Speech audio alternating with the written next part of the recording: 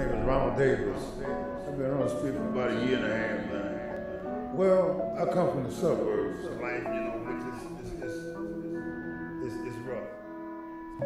It's really humiliating to be shaking a cup 24 hours a day and people just look at you like you're some kind of little bomb, you know what I'm saying? I mean, I have had people to walk past me and say, get a job, bomb.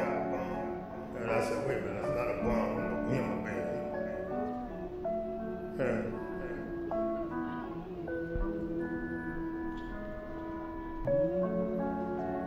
and hard. But, after the end of the day, when, when people go home and everybody get on the message train and they might,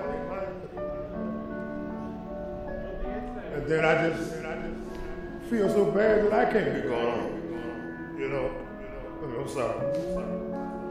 But uh, it's really emotional because I'm trying to get myself together get off this trip. I don't care what it's doing. If I can get a job and through this humility, you know, I mean, you just lose all your humility when you're shaking a cook begging.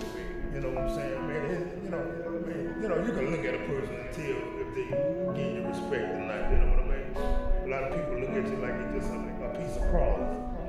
You know, I had one guy walk past and talk about me so bad, and then I just looked him.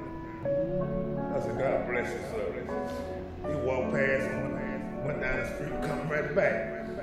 And he said, you know what, man, I had a bad day. He said, I'm sorry for you calling you that. He said, because I know you're a human being. He said, would you accept my apology? I said, apology accepted. He went in his pocket and gave me 30 bucks and said, go get you a room and get you something to eat.